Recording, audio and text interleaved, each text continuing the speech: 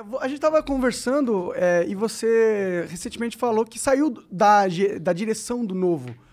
É, por que, que você fez isso, cara? Como foi essa história aí? Monark, na verdade foi o seguinte, né? O, teve eleição em 2019 para um, um novo diretório do partido, que é a direção do partido tem esse nome, né? E aí era um mandato de quatro anos. É, seis meses depois disso, que chegou ali em janeiro, fevereiro, é, eu entendi o seguinte: eu já tinha dedicado 10 anos ao Novo. Hoje, por acaso, o Novo está fazendo seis anos do registro. Foi 15 de setembro de 2015 que a gente teve o registro lá no TSE. Então, hoje, seis aniversário anos, aí. aniversário do, do registro. Lembrando que a gente teve um período enorme para conseguir virar partido, a gente está tá falando sobre isso, quer dizer, o Bolsonaro está lá tentando montar um partido, não conseguiu, acho que vale a pena depois comentar um pouco sobre isso, aí a dificuldade que é montar. É, mas eu já tinha me dedicado 10 anos ao novo. E foi um trabalho 24 por 7, porque você entrar para a política sem político, para montar uma instituição diferente, que não quer ter um salvador da pátria, que quer trazer as pessoas para serem voluntários, onde o cara tem que contribuir para o partido, pagar 30 reais, porque a gente não usa dinheiro público tudo isso foi difícil e assim, eu comecei desde respondendo Fale Conosco, fazendo as postagens do Facebook, vendo toda a parte de documentação, coletando ficha, então estava já cansado e entendi o seguinte, bom, eu agora quero ter um pouco mais de liberdade, já dediquei 10 anos ao novo e qual foi sempre o conceito do novo? O novo tem que ser uma instituição, não tem que ter um dono, não tem que ter uma pessoa, porque ele tem que durar 100 anos, 150 anos, então tem que ter troca de de retaguarda, tem que ter troca de liderança. Aí, é, ele não foi... pode morrer quando você morrer. Isso senão não faz sentido. Não faz sentido. Então, quando foi em, em fevereiro de 2020, eu falei, bom, mesmo ainda tendo três anos e meio de, de gestão no mandato, eu falei, eu vou passar o bastão, porque eu acho que já tem um diretório aí que já tem condição de tocar, e me afastei é, da direção, da, da, gestão. Apesar de muita gente dizer que eu sou, sou dono, né, especialmente os que estão saindo do, do novo, que saem, tem sempre esse ataque, ah, o Amoedo é o dono do novo, que não é verdade, porque ah, eu saí de lá e tem até coisas diferentes é, do que o novo fez, o que pensa que eu, que eu penso. Mas né? eu, inclusive, eu achei que para você foi muito bom e muito inteligente você ter sido se afastado do novo, entendeu? Porque eu confesso que. Pra mim que tava. Eu não, não manjo do que acontece no, nas entranhas do novo tal. Uhum. Eu não tô uhum. por dentro, tá ligado? Mas, ah. E pra mim eu ficava a sensação que o novo, você tava é, sendo muito a cara do novo. Entendeu? O novo era o João Amoedo. E você continuando com a liderança, a percepção que eu tinha era, era que você realmente estava nessa, nessa, nessa questão de querer controlar o partido, talvez por medo de ele se ir para um lado que você não acha legal, ou talvez também, não sei, por vaidade, as pessoas são malucas, ah, né? É. Não, assim, eu, eu sempre, desde que a gente montou o partido, eu sempre fui dessa tese, porque quando a gente foi montar, eu li os outros partidos e foi interessante. Quando a gente estava montando o partido, tinham dois partidos na mesma época que estavam sendo montados. E era o partido do Kassab e o partido da Marina. E aquilo me incomodava, porque imagina, o partido do João, o Kassab e a Marina eram conhecidos, o João não era conhecido. E, assim, e eu não gosto da ideia do partido de alguém. Então, desde o início, lá em 2010, 2011, quando a gente começou a fundação do Novo, sempre tive essa ideia, ó, o Novo não pode ser um partido de ninguém, tem que ser um negócio que tem princípios, valores e que anda sozinho e que troca as lideranças.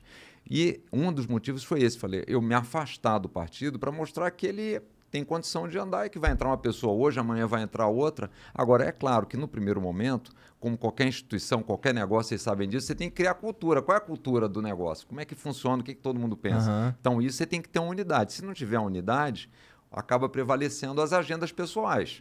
Aí um cara vem, eu tenho uma agenda, eu quero fazer isso, que era que muito me incomodava nos partidos políticos tradicionais. Tinha aquele cacique, ele usava o partido para se eleger, aí é, ficava ali. Tanto é que é um negócio interessante. Quando a gente teve o registro do novo lá em setembro de 2015, entrou um monte de e-mail e um monte de e-mail de político querendo migrar para o novo.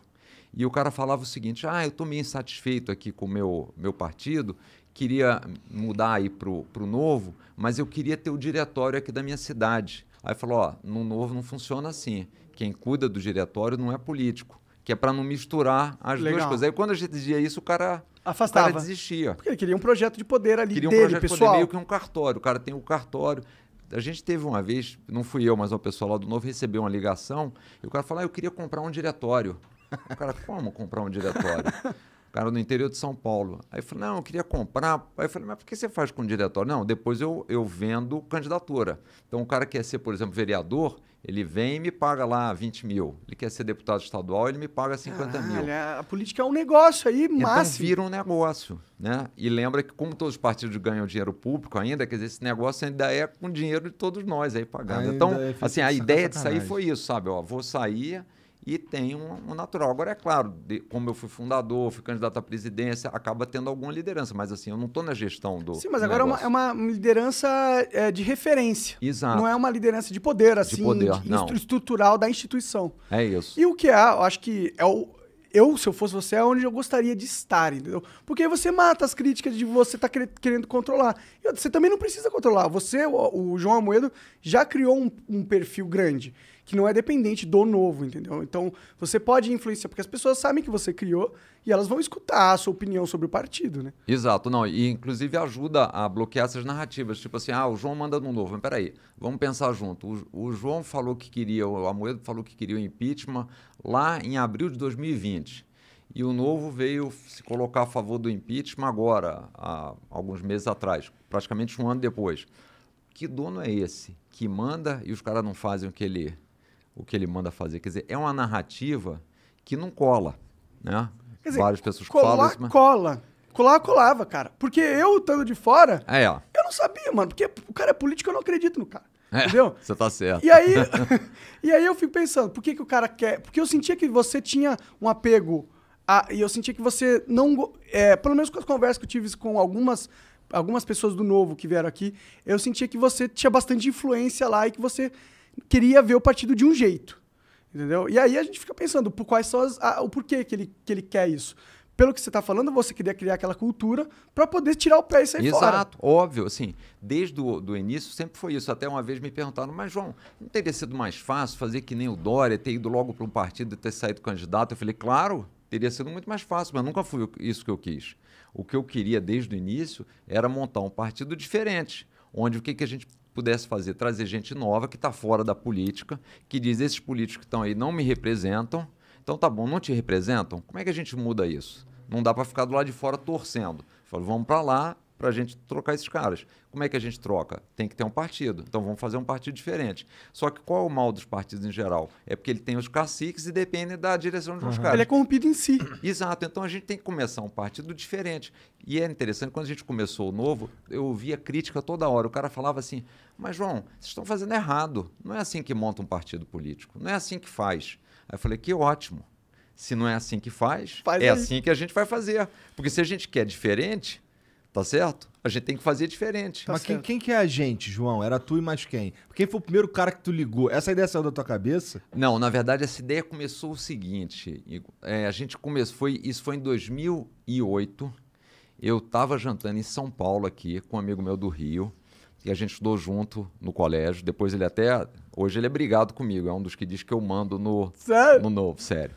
A gente jantando junto lá aqui em São Paulo em 2008. Eu virei para ele, nessa época eu estava no conselho de administração do Unibanco, né? E eu virei para ele e falei o seguinte: eu queria fazer alguma coisa para ajudar na área pública. Não é possível, assim, eu no Rio, o que, que me, me, assim, me irritava e me decepcionava mais? Você parar num sinal de trânsito e ver aquele monte de criancinha tentando vender o chiclete, jogando aquela bolinha para cima, 10, 12, 14 anos de idade que deviam estar no colégio. Eu falei, não é possível, eu pago um imposto danado, Pois é. né?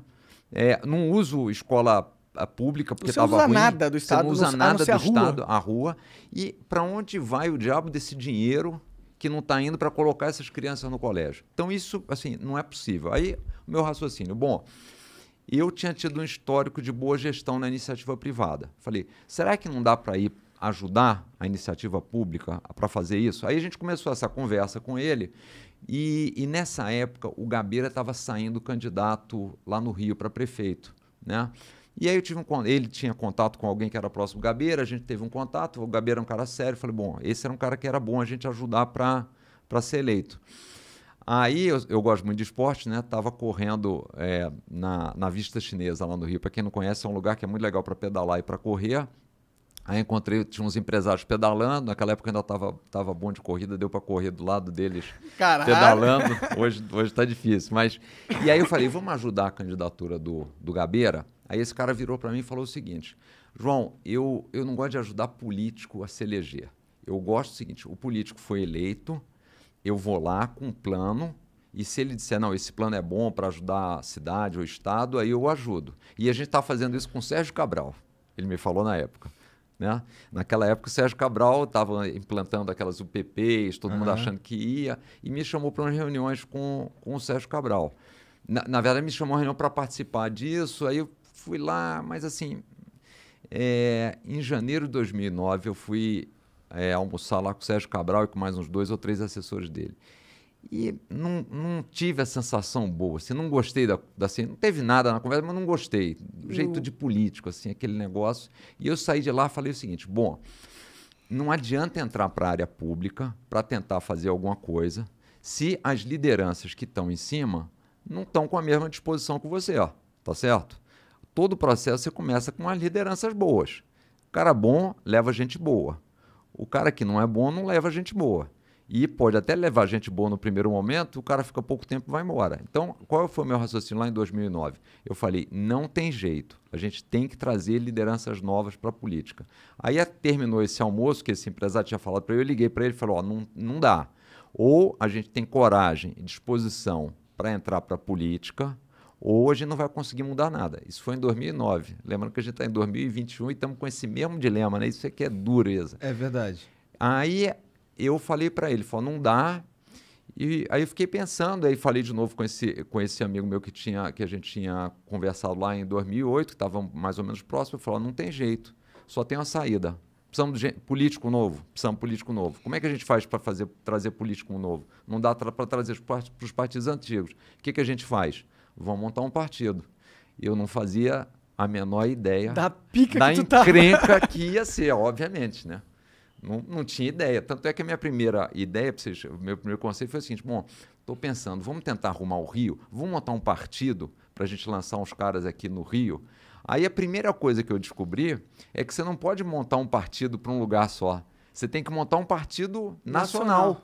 O que é uma dificuldade enorme. Imagina que você diz o seguinte: pô, eu queria montar uma padaria. Aí o cara falando, você quer montar uma padaria? Só pode se você for montar em pelo menos nove estados. Não, mas eu quero montar só uma, para ver se dá certo se funciona, se os caras gostam do, das coisas que eu vou fazer. Não, tem que montar em nove. E assim começamos, né? Então é. Caraca, que merda.